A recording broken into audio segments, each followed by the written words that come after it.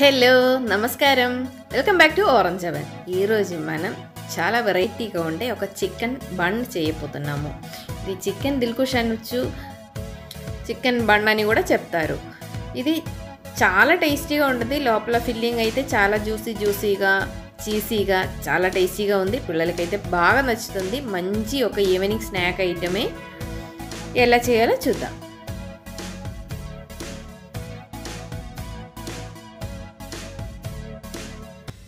ముందుగా మనం బన్ను కోసం డో ప్రిపేర్ చేసుకోవాలి. ఇది గోరువెచ్చంగా ఉండే half cup milk one twenty five ML కప్పులో ఒక కప్పు మిల్క్ తీసుకున్నాను. దానిలోకి ఒక త్రీ టీ స్పూన్ దాకా షుగర్ వేసుకోవాలి. కొంచెం స్వీట్గా ఉండదు కదా బన్ను ఒక పావు స్పూన్ దాకా ఉప్పు అలాగే ఒక ముప్పావు టీ స్పూన్ దాకా ఈస్ట్ వేసుకోవాలి.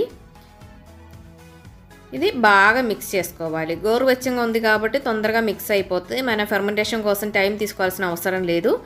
యాక్టివ్ డ్రై ఈస్ట్ కాబట్టి తొందరగా అవుతుంది. అలాగే టూ టేబుల్ స్పూన్ దాకా మిల్క్ పౌడర్ వేస్తున్నాను.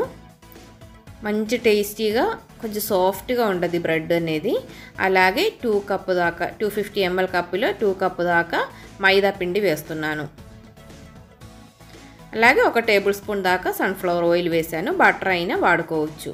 బటర్ వేస్తే ఇంకా కొంచెం టేస్టీగా ఉంటుంది. ఉండేవాళ్ళు బటరే వేసేసుకోండి. ఇది బాగా మిక్స్ చేయండి. పాలు తక్కువ అయితే గోరువెచ్చంగా ఉండే పాలు కానీ లేకపోతే వాటర్ కానీ ఏదైనా వాడుకోవచ్చు. ఒక టేబుల్ స్పూన్ వేసాను. సరిపోయింది అలాగే ఇప్పుడు మనం చెయ్యి మీద కొంచెం ఆయిల్ రాసుకొని మళ్ళీ ఒక టూ త్రీ మినిట్స్ బాగా మిక్స్ చేస్తే డో మంచి సాఫ్ట్గా అవుతుంది. చూసారు కదా? ఇలాగ అయింది. రెండు మూడు నిమిషాలు మనం మిక్స్ చేస్తే చాలు. ఇప్పుడు ఆ డో మీదేను ఆ వెసల్లో కొంచెం ఆయిల్ రాసేసుకొని అలాగే కవర్ చేసి ఒక వన్ ఆర్ టూ అవర్స్ పెట్టేసుకోండి. ఈ డో అనేది డబుల్ సైజు పెరగాలి. అది మన క్లైమేట్ బట్టి టైం అనేది కొంచెం డిఫరెన్స్ వస్తూ ఉండదు. ఒక టూ త్రీ అవర్స్ పెట్టుకోవచ్చు. ఇప్పుడు ఒక కడాయిలో కొంచెం ఆయిల్ రాసుకొని ఒక టేబుల్ స్పూన్ దాకా గార్లిక్ కట్ చేసేది ఒక టీ స్పూన్ దాకా అల్లం కట్ చేసేది వేసుకోవాలి. అది కొంచెం లైట్గా ఉడిగితే చాలు. మంచి ఫ్లేవర్ బయటకు వస్తూ ఉండేటప్పుడు ఒక్క ఒనియన్ ఒనియన్ని కొంచెం పెద్ద ముక్కలుగా కట్ చేసేది వేసుకోవాలి. అలాగే కొంచెం ఉప్పు కూడా వేసుకోండి. ఆ ఒనియన్కి సరిపోయేటట్టు. ఒనియన్ ఉడిగేటప్పుడు ఉప్పు వేయకపోతే తర్వాత ఒనియన్కి ఉప్పు పట్టడానికి చాలా టైం తీసుకుంటుంది. అలాగే చాలా తక్కువ పట్టిద్ది. ఇప్పుడు ఒక కప్పు దాకా చికెన్ మిన్స్ చేయలేదు చిన్న చిన్న ముక్కలుగా కట్ చేశాను. ఆ కట్ చేస్తేనే టేస్ట్ వస్తుంది. చిన్న చిన్న చికెన్ ముక్కలు తగులుతూ ఉంటుంది కదా ఆ చికెన్కి కూడా సరిపోయేటట్టు ఉప్పు వేసుకొని ఉడగనివ్వండి. ఒక టీ స్పూన్ మిరియాల పొడి అను ఒక టేబుల్ స్పూన్ దాకా క్రష్డ్ చిల్లీ వేస్తున్నాను. ఈ చిల్లీకి కొంచెం కారం తక్కువ ఉంటుంది అందుకని కొంచెం ఎక్కువ వేస్తున్నాను. మీకు స్పైసీగా వద్దు అనుకుంటే తక్కువ వేసుకోండి. మాకు కొంచెం స్పైసీగా ఉండేనే ఇష్టం. అలాగే ఇప్పుడు ఒక ముప్పావు కప్పు దాకా మిల్క్ వేస్తున్నాను నేను. ఇది ఫుల్ ఫ్యాట్ మిల్కే. ఈ మిల్క్ వేయడం వల్ల మంచి జ్యూసీగా అలాగే మంచి టేస్టీగా ఉండదు. ఈ మిల్క్ అనేది మగ్గిపోవాలి మొత్తం దగ్గరికి అవ్వాలి. ఒక ఫైవ్ మినిట్స్ మూత పెట్టి పెట్టుకోవాలి. ఆ వాటర్ అంతా తగ్గిన తర్వాత ఒక హాఫ్ క్యాప్సికమ్ లేకపోతే ఒక చిన్న క్యాప్సికమ్ని ముక్కలు చేసి వేసుకోండి. అలాగే ఇది కొంచెం పిస్సా పాస్తా సోస్ ఉంది కదా అది ఒక టేబుల్ స్పూన్ దాకా వేసుకోండి. మంచి ఫ్లేవర్ ఉండదు. అది లేకపోతే టొమాటో సాస్ సోయా సాస్ వరకు వేసుకోవచ్చు. కొంచెం టొమాటో సాస్ కూడా వేస్తున్నాను. ఒక టేబుల్ స్పూన్ చాలు. ఇదన్నీ మంచిగా మిక్స్ చేయాలి. వాటర్ అనేది ఎక్కువ ఉండకూడదు. ఉప్పు చూసుకొని కొంచెం ఉప్పు అలాగే స్పైసీగా ఉందా లేదని చూసుకొని కావాలంటే అడ్జస్ట్ చేసుకోండి. ఇప్పుడు కొంచెం చీజ్ యాడ్ చేస్తున్నాను. నేను ఇది ప్రాసెస్డ్ చీసే మొసర్ల చీజ్ ఉంటే అదైనా వేసుకోవచ్చు. ఇంకా చీజ్ మీకు లేదు అనుకుంటే అది లేకుండా చేసినా కూడా చాలా టేస్టీగా ఉంటుంది. ఆ పాలుతోనే చీసీ టేస్ట్ వస్తుంది మనకి. ఇది కూడా ఉండి ఇంకా కొంచెం రిచ్గా ఉంటుంది కదా అని యాడ్ చేశాను. చూడండి మన డో అనేది ఫెర్మెంట్ అయిపోయింది. నేను ఒక త్రీ అవర్స్ పెట్టాను. మన క్లైమేట్ బట్టి కొంచెం టైం వేరియేషన్ వస్తూ ఉండదు. ఇప్పుడు మళ్ళీ ఒకసారి మిక్స్ చేసేసుకొని దీన్ని రెండు పోర్షన్గా డివైడ్ చేస్తున్నాను. ఈక్వల్ పార్ట్స్గా డివైడ్ చేసి తీసుకోండి. రెండు బౌల్స్ లాగా చేసి పెట్టుకోండి. ఇప్పుడు దీన్ని కొంచెం చపాతీలాగా చేసుకోవాలి. రెండు షీట్స్. కొంచెం మైదాపిండి ఇలా డస్ట్ చేసుకొని దీన్ని రోల్ చేసుకోవాలి. మన ఏ పాత్రలో బేక్ చేస్తున్నామో ఆ పాత్రం సైజులో చేసుకోండి మంచిది. నేను ఒక కేక్ టిన్లో చేస్తున్నాను ఒక ఎయిట్ ఇంచ్ది ట్రై తీసుకొని దాంట్లో చేస్తున్నాను.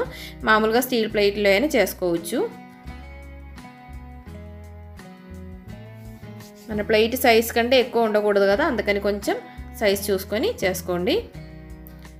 ఇది కరెక్ట్గా సైజ్ చెరిపోయింది సైడ్స్ కొంచెం ఇలా పైకి పెట్టేసుకొని దాని లోపల ఫిల్లింగ్ పెట్టుకోవాలి కదా అందుకని కొంచెం అడ్జస్ట్ చేసి పెడుతున్నాను. ఇంకా ఒక షీట్ కూడా రెడీ చేసిన తర్వాత మనం ఫిల్లింగ్ వేద్దాము.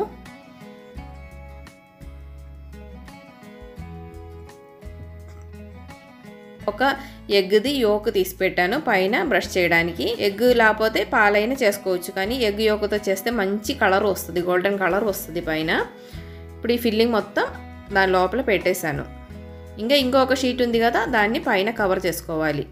సైజ్ చూసుకొని కరెక్ట్గా ఉండేటట్టు కవర్ చేసుకోండి. సైడ్స్ అంతా కొంచెం ప్రెస్ చేసి అదికిచ్చాలి లేకపోతే ఊడి వచ్చేసిద్ది కదా సపరేట్ అయిపోతుంది. అందుకని మంచిగా ప్రెస్ చేసేసుకోండి.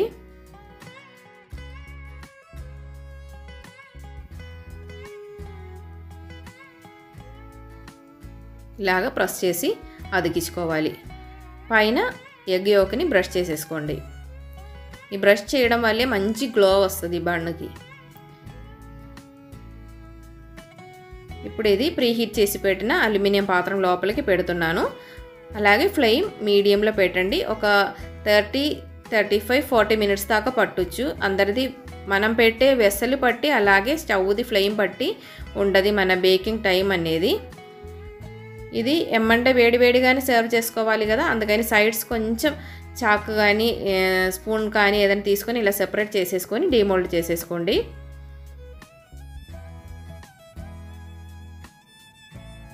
చూడండి పర్ఫెక్ట్గా బేక్ అయింది కదా.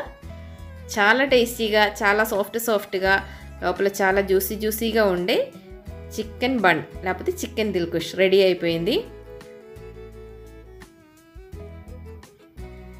చాలా సింపుల్గా చేసుకోవచ్చు కదా. మంచి రిచ్గా ఉండే ఒక స్నాక్ ఐటమే. అందరూ ఒక్కసారి ట్రై చేసి చూడండి. ఎలా ఉందో నా కామెంట్ ద్వారా చెప్తే నేను కూడా తెలుసుకుంటాను. అందరూ హెల్తీగా ఉండండి హ్యాపీగా ఉండండి. Thanks for watching. Orange continues bye bye.